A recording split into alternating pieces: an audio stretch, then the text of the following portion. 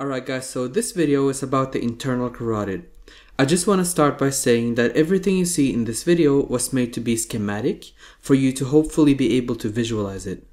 Now, essentially, as the common carotid artery ascends along the neck, it will divide at the region of the upper thyroid cartilage into the external and the internal carotid arteries. With the external carotid here in orange, as we're not really going to talk about this one. Now, Initially, the internal carotid is divided into four anatomical parts. However, in a clinical setting, and this really depends on the source you're studying from, you may find it divided into seven anatomical segments. I will go through the four anatomical parts, but I will also show you the seven segment scheme later in this video. So the first part is the cervical part in the neck region, hence the name cervical part. Uh, it goes up and then it goes inside the, the carotid canal as you see here where it now becomes the petrous part. So if we take this area out and visualize it a little bit, you will see the carotid canal here. It's initially a canal within the petrous part of the temporal bone. So this is just a coronal or a frontal section of the canal. Now the internal carotid will continue up through the canal and then it will give off some important side branches and they're called the carotico-tympanic branches supplying the uh, the tympanic cavity or, or the middle ear. Now, as it leaves the canal and enter the middle cranial fossa, it becomes a cavernous part. And here's maybe a better representation of it. It goes right through the cavernous sinus. The cavernous sinus is one of the dural sinuses of the head. Uh, they're huge, they're large veins draining blood from the brain and then sending them down mainly through the jugular vein. And this is how it, um, you see it going through the cavernous sinus. Uh, that is why it's called the cavernous part because it goes through the cavernous sinus. And then as it goes up, it eventually gets the name cerebral part, where it is divided into five terminal branches. Now, I mentioned earlier that it could be divided into seven segments, and I'm not really going to spend too much time on this, but I made a quick scheme of the seven segments with the side branches of the internal carotid.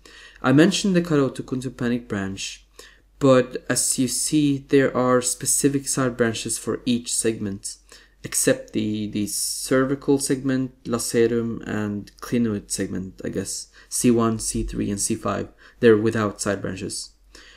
You can just pause the video and take a mental picture if you wanna, but I essentially wanna focus on the terminal ends of this artery, because those are the most important ones. So, looking at a cranial view of the cranium, we're going to have the ophthalmic artery going into the optic cavity through the optic canal, then there's the anterior cerebral artery, which communicates with the other one on the opposite side through the anterior communicating artery. There's the middle cerebral artery. Then there's the posterior communicating artery, which communicates with the posterior cerebral artery, here in red. Uh, the posterior cerebral artery is a branch of the bacillary artery, as you see here, which um, initially comes from the vertebral artery, coming from the subclavian artery. So now the last branch is the anterior choroid artery, which enters the lateral ventricle and then it forms the choroid plexus. Now, I will try to cover these arteries in a little more detail, or rather just enough for you to gain a general knowledge and, and hopefully pass your test with a comfortable grade. All of these form the so-called circle of Willis, which supply a huge majority of the brain with blood. Its name is after the English physician Thomas Willis, who in late 1600s researched the anatomy of the brain and found the structure of arteries. So let's look into each of these. Again, the major blood supply of the brain comes from the cerebral part of the internal carotid and the basilar artery.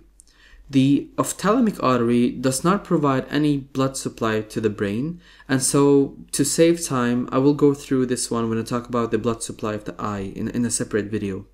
But the first one in the list is the anterior cerebral artery, which again has this anterior communicating artery, which communicates with the anterior cerebral artery of the opposite side. Now, essentially, this artery will run along the longitudinal cerebral fissure, as you see here. And this, if you look where the arrow is and then follow the artery, the whole purple area will be supplied by the anterior cerebral artery. And this include the whole medial surface of the frontal and parietal lobe, as you see here. And then on the superior lateral surface, the whole blue area on the top is, is supplied by this artery. That include the superior frontal gyrus, the superior parietal lobule, um, and the upper part of the pre and post cerebral gyrus. Uh, also a little hard to see here, but uh, it also supplies a straight gyrus or gyrus rectus on the inferior surface. So that's this one. Next is the medial cerebral artery. This is a huge artery supplying really most of the brain with blood. Therefore, any blockage here will lead to something called middle cerebral artery syndrome. And this is quite serious because you see here how it supplies many structures in the brain. It supplies the insula, the lentiform nucleus, the caudate nucleus, the internal capsule, along with the superior and the middle temporal gyrus and, and the rest of the purple areas in the brain here. Um, that's why the middle cerebral artery syndrome is associated with many symptoms like paralysis, sensory loss, and, and speech problems, mainly because Broca's area and, and Wernicke's area is also affected.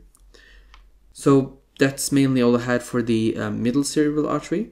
Next, we can jump over the posterior communicating artery because this is this just goes back and communicates with the posterior cerebral artery. But the anterior choroid artery is very important. And I try to visualize it here. So again, here's the internal carotid with the anterior and the middle cerebral arteries. The anterior choroid artery will go backwards to form mainly the choroid plexus in the lateral and the third ventricle. So that's mainly this one. That's mainly all I had for this one. Now, the, the next one is the posterior cerebral artery coming from the bacillary artery to supply mostly the occipital lobe, as you see here in, in yellow, um, as well as the inferior temporal. And remember, both the occipital and the inferior temporal gyrus are both associated with, with vision. So any, any occlusion in the posterior cerebral artery will result in visual defect, along with other significant things like pain and temperature sensation loss. So that's mainly all I had for the internal carotid and the blood supply to the brain. I really hope this video helped you in any way. Just as long as you remember the circle of Willis, you're already understanding a huge majority of this topic.